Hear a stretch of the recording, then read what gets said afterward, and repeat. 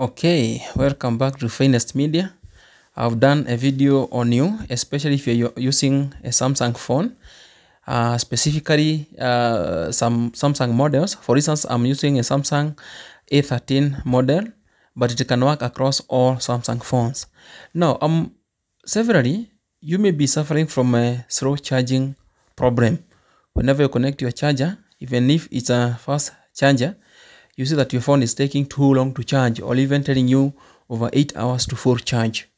Now, this is what you do. I'm going to show you uh, two tricks. Now, the first one, uh, go to settings, that way, scroll to battery and device care. Battery and device care, mine is here, so click on battery and device care and uh, at this one you can see you've got uh, several options. You've got uh, auto uh, optimization software update diagnostics and uh, the maintenance mode. So just click on battery. Click on battery. Then scroll downwards to more battery settings. At the more battery settings you can see you've got uh, four options here. Adapt uh, adaptive battery slow uh, rather show battery percentage fast charging and protective battery now you can see our problem is the slow charging. So we're going to come on a fast charging and switch it on. That you see it was off, switch on and you're done. If you connect your charger, the charging will be uh, way too fast. That is one trick. Um, the second trick is this way.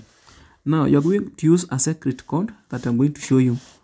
Um, what you do, come to your dial code, uh, rather dialing section here, and you're going to dial this code.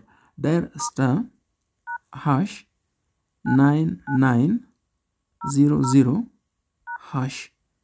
You can see we've gotten into a secret menu on uh, this phone. And what you're going to do just scroll downwards looking for an option of a low battery dump low battery dump.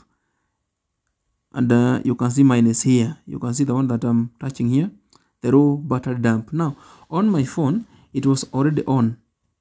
Wouldn't it have been this way? It would be reading off after tapping on it.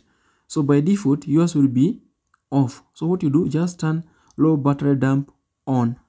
That will do a single click. Ensure you don't change any other option because that is, that is going to, it can even kill your phone. So scroll uh, downwards this way and click on exit. And you're done. Next time when you connect your phone to your charger, it's going to charge very fast and you have solved the problem of slow charging on Samsung phone models. Thank you for watching. Remember to subscribe. God bless you.